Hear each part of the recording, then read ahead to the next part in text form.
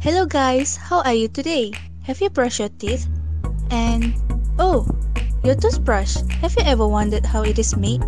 Or where it goes when you throw them away? You're lucky then, because we are going to tell you about it in a jiffy. In this video, we are going to go through the life cycle of the toothbrush that we use daily. Today's discussion will be on the history of toothbrushes, life cycle analysis of toothbrush, which will also include the impacts towards the environment and also toothbrush alternative and recommendation to mitigate the impacts. This is how toothbrushes from the old times look like. Isn't that magnificent? Now, let's go through the history of these magic sticks that go through some sort of evolutions I may say. The first toothbrush were made in 1498. Back then, they used hog's fur to make the bristles. Over here is the timeline for the invention of toothbrush. As we can see, human civilization started to have concern of teeth starting from 3500 BC. They started using chewing sticks or miswak on 1600 BC. Bristles were founded on 1498 as I've mentioned earlier. On 1600s, the toothpaste use usage starts to spread. The first toothbrush, almost similar like what we are using, was made in 1780.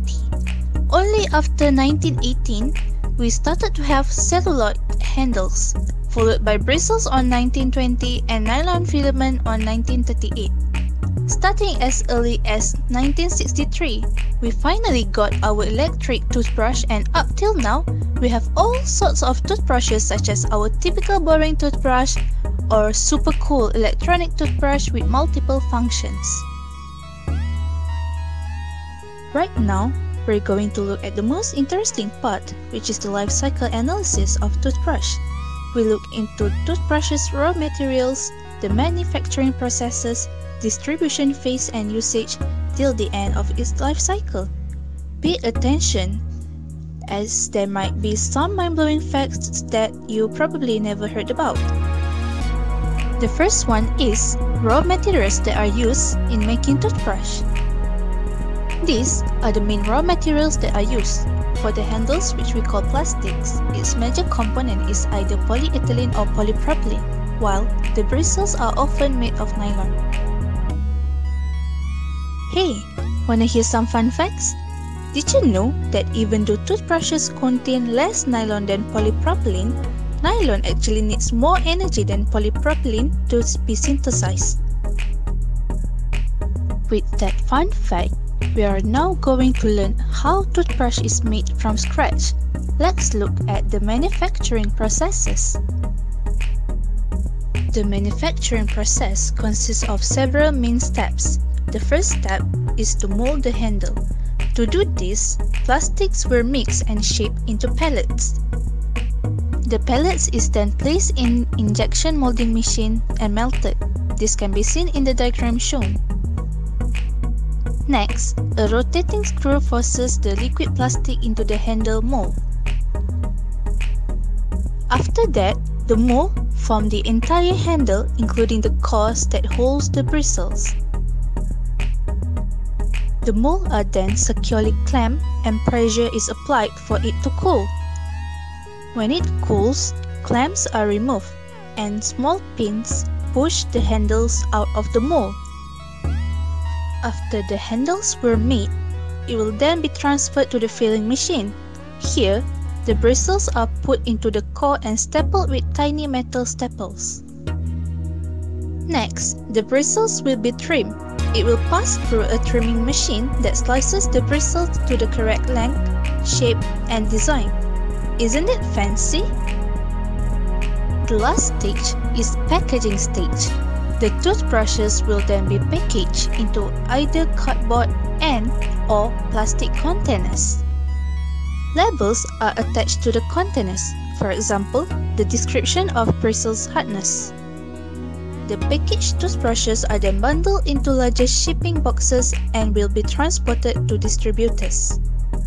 Now, now, we are already at the end of the life cycle. let's look at the distributions and usage of toothbrush. Packaged toothbrushes are usually transported to our local stores.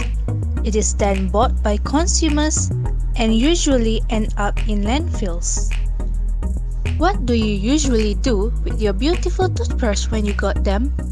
Of course, you're gonna use them, right? It is recommended for us to replace our toothbrush once every 3 months.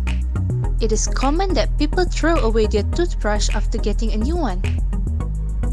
When we throw away our toothbrush, it usually ends up in a landfill. That's where toothbrush life cycle usually ends. While we are happy with our new toothbrush, the old one that we throw away remain in the landfill for at least 400 years.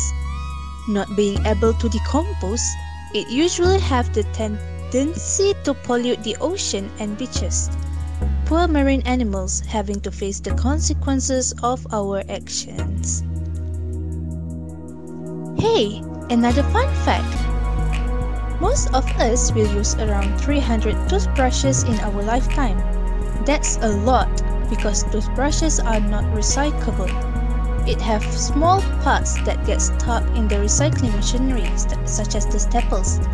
Imagine if one person used 300 toothbrushes and it lasted for 400 years. Ah, just how many are the toothbrushes in the world right now? I can imagine that. Therefore, we need to prevent toothbrush from polluting the earth. Let's take a look at some alternatives and recommendation for mitigating toothbrush impacts. One of the alternatives is by using bamboo toothbrush. Bamboo toothbrush are antimicrobial and biodegradable. It is made of moso bamboo, so we don't have to worry. Pandas don't eat moso bamboo, so we are not disturbing their food. We could also use manual toothbrush with replaceable head. This way, we can keep the handle and only replace the upper part.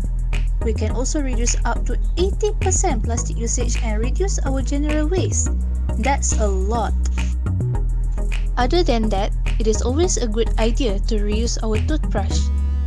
We can use our toothbrush for cleaning, be it cleaning the floor, cleaning the keyboards, or even the shoes. Now let's be a bit artsy and do this. Bracelet made of toothbrush for kids while hanging and we can also use it as a brush for watercolor. Wow, isn't that exciting? Here's some of the reference that I used to make this video. We have now come to the end of our discussion. I hope you get something from our discussion today. Thank you for spending your time with me. Check out our social media for more interesting information. Don't forget to like this video and check out our other life cycle related videos too. Bye!